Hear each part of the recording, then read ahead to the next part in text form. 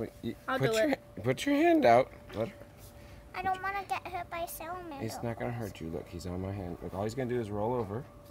Look, there That you go. so cute. See? The salamander looks so cute. Yeah. They didn't have eyes. Ow. Look at the cute little salamander baby Shayna. Nice and gentle. Oh, oh no. Okay. Yeah, I'm gonna go put him back.